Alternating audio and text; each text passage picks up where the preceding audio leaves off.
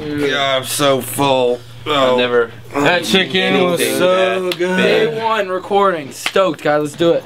Oh yeah, this record's gonna be awesome. I don't know about that. We need to check the internet, see what the kids are saying. You're right. Internetpunksite.net. Alright. Oh man, these comments are really pouring in, guys. Check it out.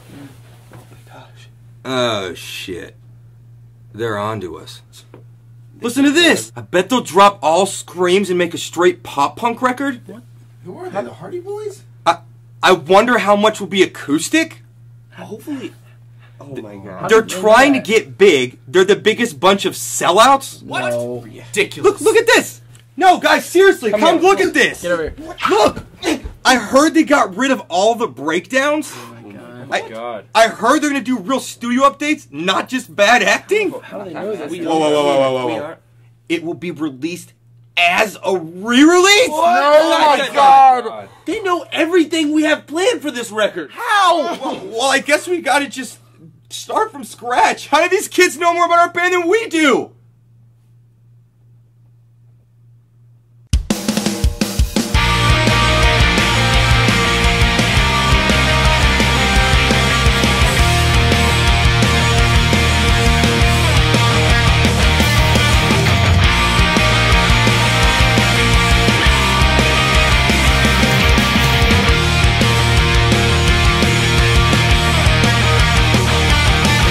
Finally where they want to be, going for the gold medal.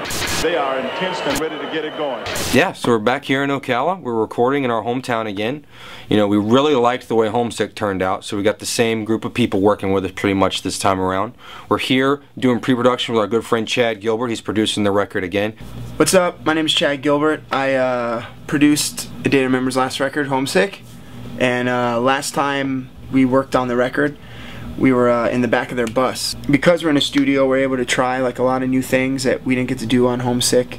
Kind of get in depth with the songs more. I think A Day to Remember is doing like a lot of cool different stuff, things they've never tried before, and uh, they're kind of going out of the box, but still like keeping it heavy and keeping it a day to remember. So basically, we're putting the dream team back together. We got Chad Gilbert producing, Andrew the Big Boss Wade working the boards, and coming back, you love him, we love him, your boy Tom Denney.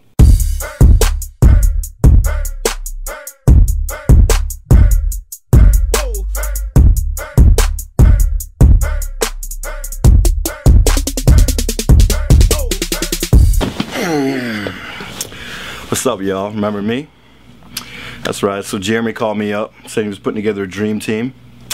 I said, well, clearly I'm the Shaq of this group, and I run this shit. You know, can't really read or write, but that don't matter because I will dunk on any motherfucker in the world. I will own that shit. And with that being said, I will make this record.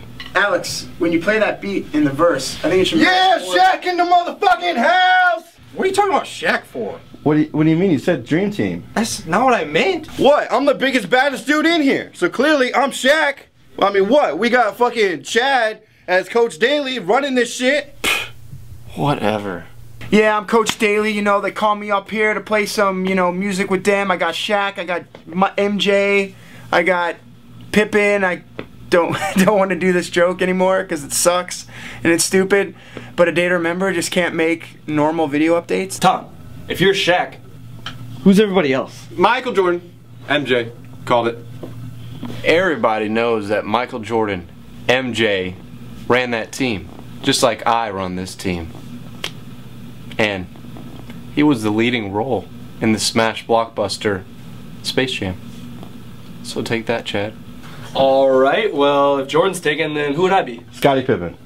That's pretty good. Yeah, because that's the jersey all the poor kids had to buy when they couldn't afford Jordans.